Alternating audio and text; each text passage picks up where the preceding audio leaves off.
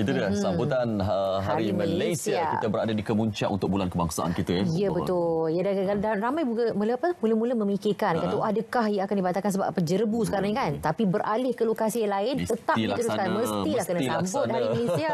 Jadi kan okay. itulah kita nak bawakan info lanjut bersama hmm. dengan tetamu kita pada waktu ini yang bersama hmm. Encik uh, Syakir Ahmad Syakir, hmm. Timbalan Ketua Setiausaha Komunikasi Strategik dan Industri Kreatif Kementerian hmm. Komunikasi dan Multimedia Malaysia. Assalamualaikum selamat pagi. Waalaikumsalam warahmatullahi Ya. Okay, baik. Terima kasih Syakib sudah bersama kami pada hari ini. Okey, uh, mula-mulanya kita tahu bila uh, Hari Malaysia ni uh, ada beberapa lokasi yang sangat istimewa kita pilih. Yeah. Sabah, Sarawak. Ada juga buat di yeah. Semenanjung sebelum ni. Yeah. Tahun ini Sarawak menjadi lokasinya. Mungkin kita boleh cerita signifikan dan juga pemilihan lokasi dulu. Baik. Ha. Lokasi Kuching Sarawak mm. dipilih mm. adalah susulan daripada keputusan Jemaah Menteri okay. pada 8 hari bulan Mei tahun mm. ini. Di mana di dalam uh, keputusan tersebut ada mm-hmm. menjelaskan bahawa ada tiga acara utama. Mm-hmm. Pertamanya ialah uh, pelancaran bulan uh, sambutan uh, bulan gemilang yang akan mm-hmm. diadakan di Melaka. Mm-hmm. Uh, itu pun ada juga ciri sejarahnya sendiri. Mm-hmm. Uh, dan kita of course kita dan of course kita akan melakukan uh, apa acara perarakan hari kebangsaan di Putrajaya mm-hmm. dan lokasi untuk Hari Malaysia ialah di Sarawak. Mm-hmm. Ini meneruskan uh, sistem penggiliran ah. di mana pada tahun lepas kita buat di Sabah mm-hmm. dan pada tahun ini uh, secara semula jadinya lah mm-hmm. keputusan itu akan menjurus ke arah mm-hmm. Sarawak mm-hmm. kerana Sabah dan Sarawak dan uh, semenanjung tanah Melayu ni mm-hmm. adalah satu gabungan uh, Malaysia mm-hmm. uh, itulah signifikannya kenapa kucing Sarawak dipilih Okey baik dah dan masa yang sama juga sebenarnya kita, kita semua sedia maklum mm-hmm. untuk tema sambutan Hari Kebangsaan dan juga Hari Malaysia tahun 2019 ini adalah saingi Malaysiaku Malaysia bersih mm-hmm. jadi kalau kita boleh kongsikan juga berkaitan dengan um, tema yang dipilih pagi tahun ini? Baik. Ini merupakan satu kesinambungan daripada tema yang telah dipilih pada tahun lepas, Sayangi Malaysiaku. Mm-hmm. Sayangi Malaysiaku, Malaysia bersih ini pula adalah satu uh, boleh dikatakan sebagai subtema. Mm-hmm. Sayangi Malaysiaku, Malaysia bersih. Bersih ini menggambarkan beberapa isu. Mm-hmm. Satunya ialah hasrat kerajaan untuk memantapkan lagi mm-hmm. nilai-nilai seperti uh, governance, mm-hmm. integrity, mm-hmm. anti rasuah mm-hmm. dan juga jika kita lihat pada bendera kita sendiri, yeah. uh, jalur gemilang. Ada satu warna warna putih tu. Hmm. apakah maksud warna putih tu? Hmm. maksudnya kebersihan. Hmm. suci ha, kesucian. Ha, jadi kesucian itu bukan setakat kita menyaksikan kesucian atau kebersihan dari setakat fizikal. Maksudnya kebersihan premis pejabat kita kebersihan Betul. rumah. Malahan kebersihan itu sepatutnya datang daripada hati kita sendiri. Kesucian hati kita untuk membuat sesuatu tugas. Kesucian hati kita untuk melaksanakan atau menjalankan sesuatu amanah tanpa unsur rasuah. Ha, itu yang dicuba dipaparkan. Jadi kita boleh lihat pada sambutan hari merdeka tahun ini ada satu acara khas. Ha, yang itu telah menggambarkan dengan agak menarik bagaimana uh, elemen kebersihan itu akan diterapkan atau bagaimana elemen kebersihan itu diterapkan di dalam kehidupan harian masyarakat masyarakat Malaysia kita hmm. dan kita akan saksikan juga isu yang sama di Sarawak nanti hmm. tetapi mempunyai corak dan alunannya sendirilah di Sarawak. Hmm. Betul. Bagaimana uh, sayangi Malaysia ku Malaysia bersih akan digarapkan di sana kita kena nantikan lah pada 16 September nanti. Okey, um, berbalik kepada peralihan lokasi ni. Uh, ya, ya. Ini pun sangat penting untuk kita beri penekanan juga sebab sebelum ni kita banyak promo untuk diadakan di uh, Padang Merdeka dan ya. apabila berada ke Stadium Perpaduan sendiri mungkin pemilihan lokasi peralihan itu uh, cik bercerita. Ah itu dia jawapannya agak mudah hmm. jerebu. Jerebu lah Jerebu agak iyalah. Sarawak pun terkesan juga. Terkesan ha. begitu sekali. Hmm. Uh, saya difahamkan hmm. uh, ketika keputusan untuk mengalihkan lokasi itu okay. dibuat, ha? bacaan uh, IPU ini adalah 200. Oh. Yeah. Tetapi saya difahamkan semakin lama semakin elok sebab hmm. ada proses pembenihan awan yang sedang dilaksanakan. Hmm. Namun begitu dari segi perancangannya ia harus dikekalkanlah Betul. di stadium perpaduan. Kita tidak mau mengambil apa-apa risiko, risiko ya. terutamanya pada pengunjung-pengunjung kita yang hmm. mungkin membawa kanak-kanak kecil betul, dan betul. kita tak naklah nanti hmm. ada pula yang sakit dada selepas hmm. tu agaknya jadi kita yeah. pindahkan ke lokasi yang tertutup. Hmm. Hmm. Okey jadi macam wala bagaimanapun hmm. lokasi bertukar hmm. tapi rasa semangat kita tak. Ah, semangat.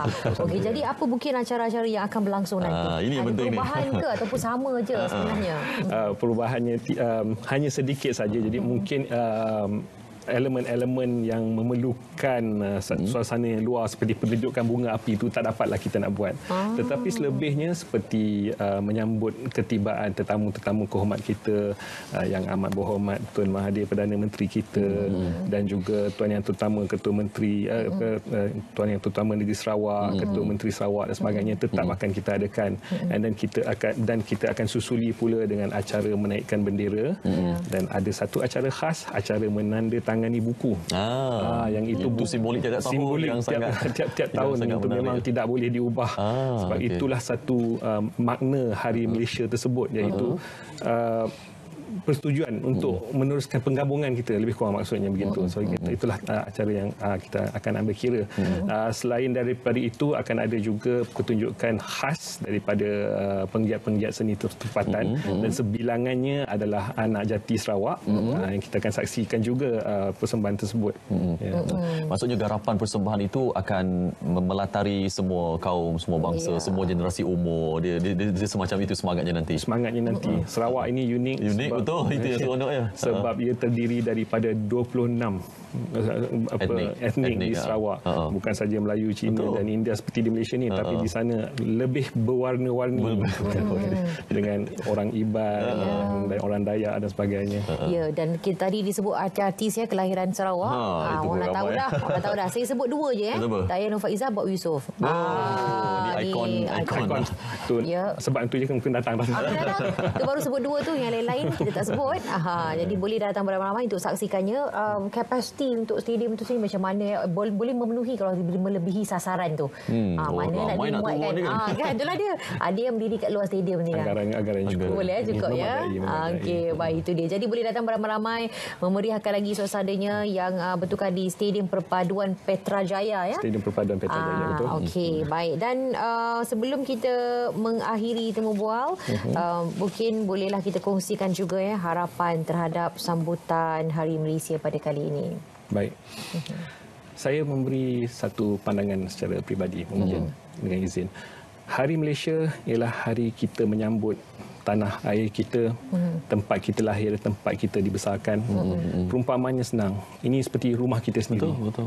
Kita lahir di rumah itu, kita membesar di rumah itu, kita rasa nikmat. Mungkin kita ada rasa sedih, gembira. Kita mengalami pelbagai perasaan di dalam rumah itu. Hmm. Tetapi sekiranya rumah tu ada mempunyai masalah, paip hmm. bocor ke apa ke, bumbung-bumbung retak ke, adakah kita membakar rumah itu? Tidak. Hmm. Seharusnya kita menambah baik rumah itu. Apabila kita melihat bendera kita ada pelbagai warna, macam tadi saya sebut, putih tu lambang kebersihan, biru Biru ialah lambang perpaduan. Yeah. Perpaduan itulah yang saya fikirkan kita harus memberi penekanan yang lebih hmm. pada hari ini. Hmm. Kerana ada unsur-unsur yang kita lihat yang semakin lama jika tidak ditangani dengan baik akan merosakkan perpaduan betul, itu. Betul. Jadi kita kena menghayati apa maksud perpaduan. Mm-hmm. Dan dalam juga kita menghayati Hari Malaysia, kita juga kena menghayati juga perlembagaan negara kita. Betul. Salah satunya ialah kesopanan dan kesusilaan. Mm-hmm. Dan di dalam zaman internet, adakah kita menghayati atau kita menzahirkan apa yang kita ucap setiap hari dalam sekolah kita, kesopanan dan kesusilaan dalam perlembagaan negara kita itu. Baik dengan bahasa-bahasa yang di, di, yang digunakan. Saya saya fikir ini satu pencerahan, itu satu penerangan yang kita harus beri pada rakyat mm-hmm. pada rakyat kita. Menghormati Hari Malaysia adalah menghormati rumah kita, Baik. menghormati apa prinsip-prinsip dalam membina negara kita. Baik. Baik. Allah ini itu satu pesanan yang sangat baik. Uh, ya. Rasa tertampar sekejap. kita kena ambil semangat itu sepenuh Hari Malaysia. Terima kasih banyak Syekh sudah bersama kami pada hari ini. Insya-Allah kita doakan yang terbaik untuk kejayaan uh, sambutan Hari Malaysia yang tak sempat ke sana. Jangan risau RTM akan bawakan juga secara langsung okay. nanti. Okay.